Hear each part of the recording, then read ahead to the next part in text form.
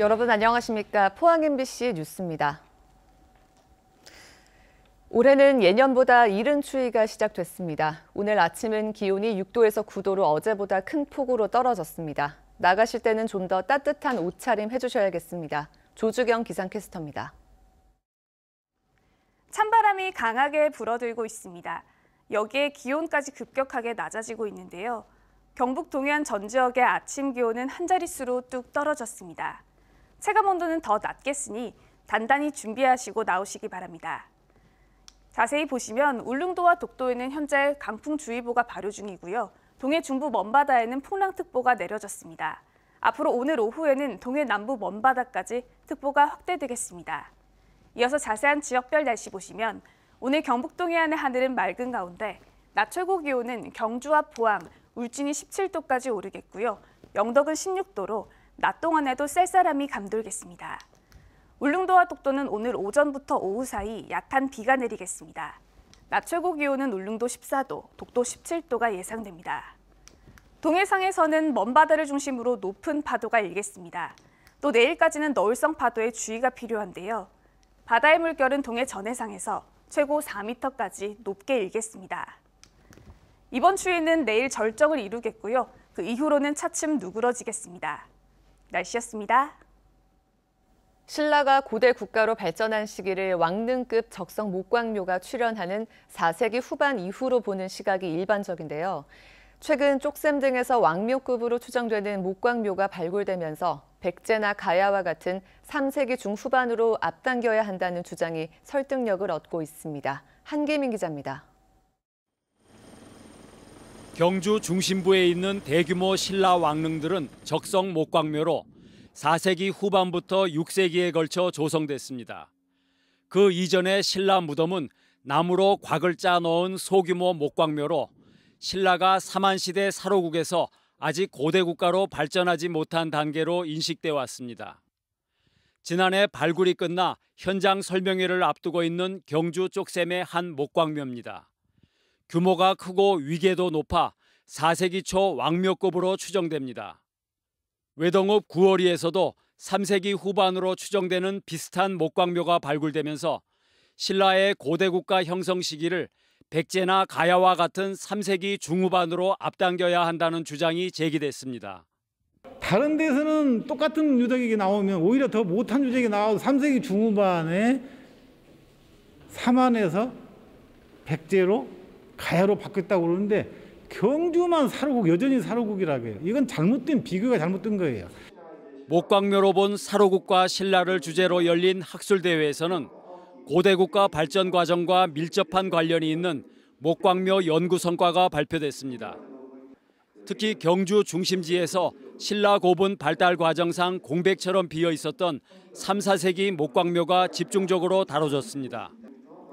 학계에서는 이번에 쪽샘에서 발굴된 대형 목광묘를 계기로 월성로 동쪽 인왕동 지역에 왕묘급 목광묘가 집중적으로 분포돼 있을 것으로 추정했습니다. 시내권 안에 어, 목광묘가 어, 목광묘에 대한 조사가 거의 부재합니다. 이 조사가 좀 더 활발하게 이루어지고 이 조사를 통해서 많은 연구 성과들이 도출되어야만이 어, 우리가 신라에 대한 이해를 좀 더 정확하게 그렇게 할 수 있을 것 같습니다.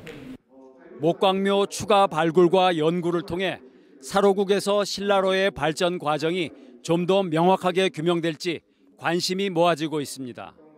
MBC 뉴스 한기빈입니다. 포항 하수처리장 문제와 관련된 시의회 연구 용역이 무산된 것으로 알려져 논란이 일고 있습니다.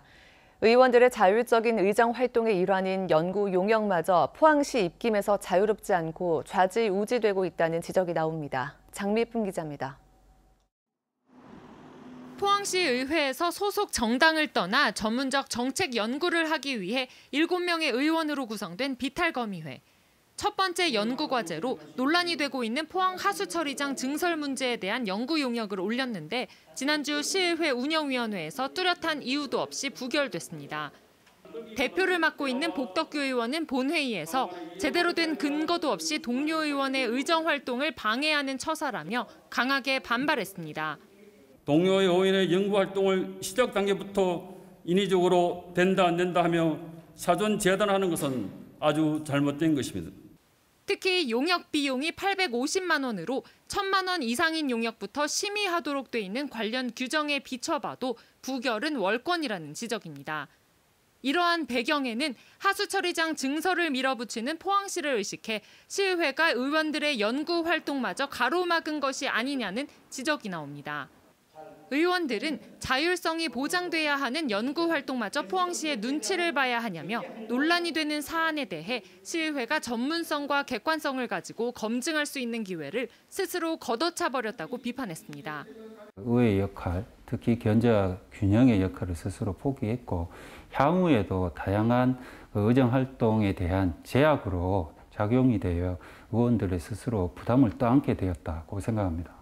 시의회 운영위원회는 이미 여러 차례 논의된 사안이라 추가 연구 용역은 불필요하다는 쪽으로 의견이 모아졌다며 조례에 따른 통상적인 심의 과정이었다고 밝혔습니다. 포항시에서 어, 용역을 했고 그 용역했는 부분에 에, 다시 용역을 하는 부분은 어, 지금 현 상황에서는 시점도 맞지 않는다는 여러 의원님들의 판단이 있었기 때문에 상임위에서 부결된 동의안을 본회의의 직권상정에 표결한 데 이어 관련 연구 용역 부결까지 포항시의회의 독립성과 다양성이 시험대에 올랐다는 지적입니다. MBC 뉴스 장미쁨입니다. 포항 칠포 해수욕장 해안가 갯바위에서 신원을 알 수 없는 변사체가 발견됐습니다. 포항 해양경찰서에 따르면 어제 아침 9시 30분쯤 60대 여성으로 추정되는 변사체를 지나가던 시민이 발견해 신고했습니다. 시신은 부패 정도가 심하지 않고 특별한 외상이 없는 것으로 전해졌습니다. 해경은 정확한 신원과 사인에 대한 수사를 진행하고 있습니다. 지난달 21일부터 포항지진특별법 시행에 따른 피해 구제 신청 접수가 시작된 가운데 신청 접수가 5천 건을 넘어섰습니다. 포항시에 따르면 지난 19일까지 집계한 지진 피해 구제 신청은 모두 5,100여 건으로 휴일을 제외하면 하루 평균 300건에 이릅니다. 피해 유형별로는 주택 피해가 전체의 87.8%를 차지해 가장 많고 이어 인명 피해, 소상 공인 피해 순입니다.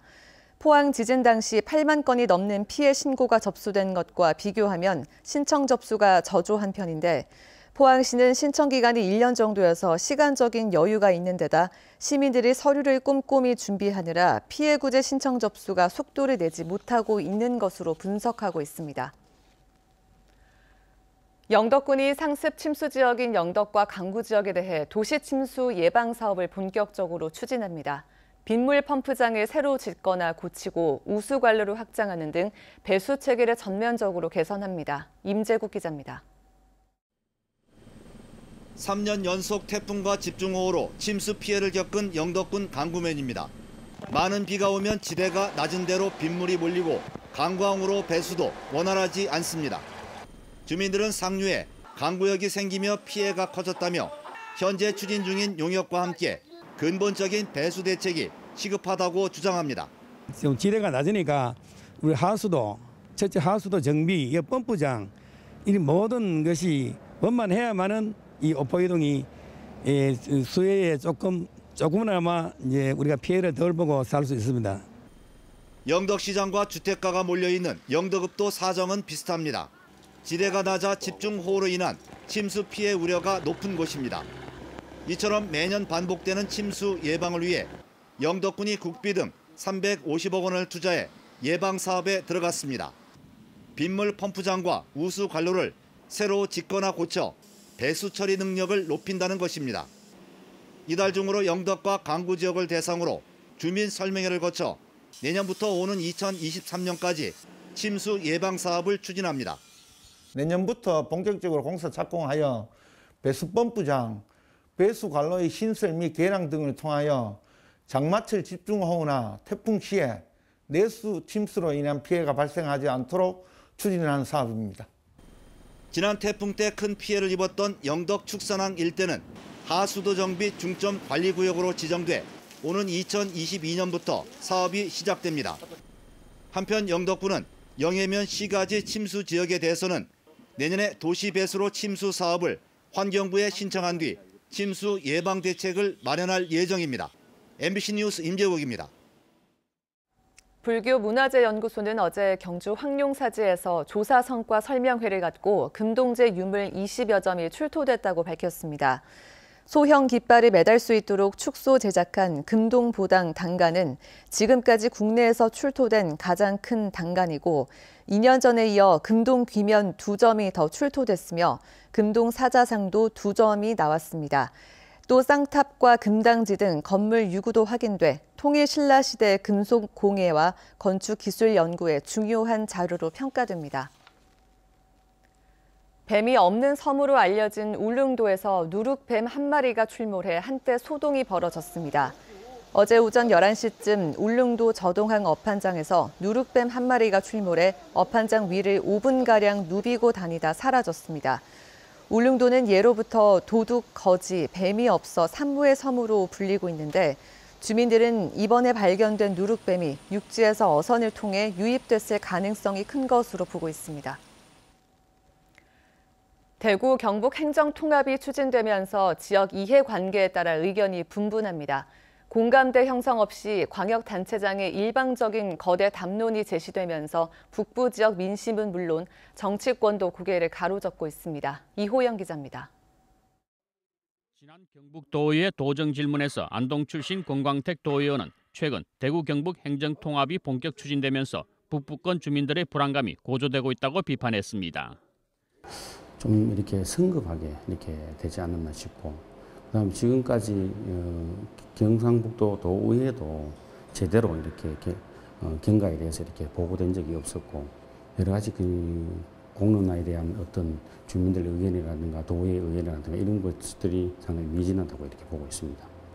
안동과 함께 도청의 한 축인 예천 지역도 도청 신도시가 안착되지 않은 상태에서 추진되는 행정 통합에 대해 의아심을 갖기는 마찬가지입니다. 이주해온 어, 도시민들도 마찬가지고 또 이주를 해오려고 생각하는 잠재적인 이주민들도 어, 심리적인 음, 불안감을 가질 수밖에 없습니다. 그래서 과연 어, 이 시점에서 이런 통합 문제가 나왔을 때 도청 신도시가 성공할 수 있을까 하는 불안감을 가지고 있는 거죠. 정치적인 결은 달라도 북부권 더불어민주당도 뜬금없이 제기된 행정통합에 많은 문제가 있다고 지적합니다. 이철호 지사님은 과연 도청 신도시를 어떤 청사진을 제시했는지 저는 한 번도 들어본 적이 없습니다. 이 상태에서 갑자기 행정통합, 대구경통합을 이야기하면 결국 북부권 지역은 소멸 위기가 더 가수가 될 거다. 북부권과 달리 경북 동부권과 중서부권은 행정통합에 찬성 입장이 더 우세하고 도 행정 분산도 적극 요구하고 있는 게 사실입니다. 심한 의견 차이로 행정통합이 자칫 잘못 진행될 경우 경북 분열의 단초가 될 수밖에 없습니다. 배경 통합의 문제는 최근에 드러났듯이 도민들 내부에도 다양한 의견이 있고 갈등이 유발되는 그런 주제인 것 같습니다. 좀 더 시간을 두고 도민들의 의견을 묻는 것이 먼저 아닌가 그런 생각을 하고 있습니다. 우여곡절 끝에 통합 신공항이 군의 의성으로 결정된 시점에 급물살을 타고 있는 대구 경북 행정통합론. 깊은 논의 과정 없이 툭 던져진 거대 담론에 이곳 경북도청사와 도청신도시는 그 운명을 알 수 없게 됐습니다. MBC 뉴스 이호영입니다. 월성원전 1호기 조기 폐쇄에 따른 보상과 재가동이 현재로서는 어렵다는 정부와 한수원 입장이 나왔습니다. 성윤모 산업통상자원부 장관은 어제 열린 국정감사에서 경주시와 경북도가 입은 경제적, 사회적 손실 보상 요구에 대해 에너지 전환으로 영향을 받는 지자체에 보상 방안 등을 차질 없이 추진 중이라며 다만 국책 사업 취소 때 직접 주민에게 보상하는 근거가 없어 별도 입법 조치가 필요하다고 말했습니다. 정재훈 한수원 사장은 월성 1호기 재가동 가능성을 묻자 현행 법령상 영구 정지된 발전소를 재가동할 근거가 없다면서 정부와 협의 없이 한수원이 단독으로 재가동하는 것은 어렵다고 판단한다고 답변했습니다. 28년 동안 경주에서 열린 동아일보 경주 국제 마라톤 대회가 올해는 코로나19로 인해 사상 최초로 비대면 방식으로 치러집니다. 이에 따라 지난해 9,500명이 참가했지만 올해는 인원을 3,000명으로 제한해 참가 신청을 받았고 참가자는 러닝 앱을 깔고 오는 26일부터 11월 8일까지 10km와 5km 두 종목에 한해 원하는 시간과 장소에서 홀로 레이스를 펼치고 완주 기록을 대회 사무국으로 전송하면 됩니다. 국제 선수들이 참가하는 엘리트 부문은 취소됐으며 참가자들이 한꺼번에 달리지 않아 교통 통제는 이루어지지 않습니다. 제4회 포항시 어르신 주산 경기대회가 어제 포항 라한 호텔에서 열렸습니다. 이날 행사에는 포항 지역 18개 경로당에서 주산 교육을 받은 어르신 100여 명이 참가해 젊은이들 못지않은 빠른 손놀림을 자랑했습니다. 시는 어르신들의 치매 예방을 위해 주산 교육 등 다양한 교육 프로그램을 경로당에서 운영하고 있습니다. 문화재청이 주최한 문화재 돌봄 사업 10주년 기념 행사에서 전국 23개 사업단 가운데 경북 남부 사업단이 문화재청장상을 받았습니다. 신라 문화원이 주축이 된 경북 남부 문화재 돌봄 사업단은 지난 경주와 포항 지진, 올해 잇따른 태풍으로 피해를 입은 문화재를 신속히 복구했고 470여 개 지역 문화재를 꾸준히 관리해온 공로를 인정받았습니다. 민주노총 공공연대 노조는 어제 원자력안전위원회 앞에서 기자회견을 열고 원전 업무의 외주를 금지하라고 촉구했습니다. 이들은 원안위와 산업부, 한수원이 지난해 9월까지 원전 업무 외주 금지 분야를 결정하겠다고 밝혔지만 지금껏 지키지 않고 있다며 원안위가 안전을 위해 외주 금지에 나서야 한다고 밝혔습니다. 특히 방사능 피폭의 위험에 노출되고 원전 안전 업무를 수행하는 방사선 안전관리 분야에 대해 가장 먼저 외주 금지가 이루어져야 한다고 주장했습니다. 한울 원전 6호기가 계획 예방 정비를 마치고 발전을 재개했습니다. 한울 원전 6호기는 약 석 달간 계획 예방 정비를 마치고 18일 발전을 재개해 지난 20일 저녁 100% 출력에 도달했습니다. 한울 6호기는 지난 7월 19일 발전소 제어 계통에 신호를 전달하는 PCS 카드 교체 중 오신호로 원자로를 자동 정지했으며 이에 따라 당초 계획보다 시기를 조금 앞당겨 계획 예방 정비에 들어갔습니다. 포항시 대도동에 위치한 포항시립 영암도서관이 6개월간의 전면 리모델링 공사를 마치고 어제 재개관했습니다. 시설 개선 공사에는 모두 18억 원이 투입됐으며 도서관 1층에는 부모와 어린이들이 자유롭게 책을 읽을 수 있는 공간을 조성하고 종합 자료실에는 특성화 코너를 신설해 어르신들을 위한 큰 글자책을 비치했습니다.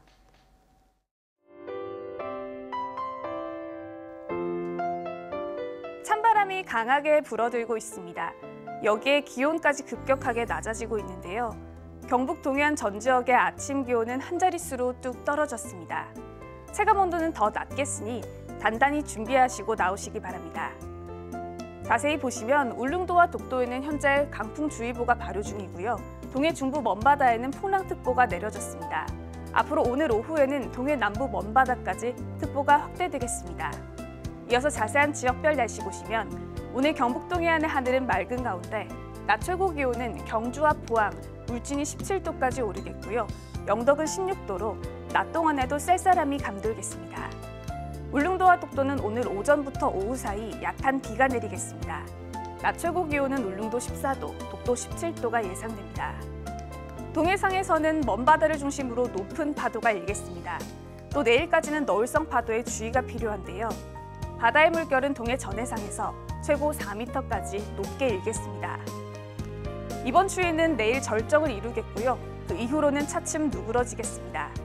날씨였습니다. 이상으로 포항 MBC 뉴스를 마칩니다. 여러분 고맙습니다.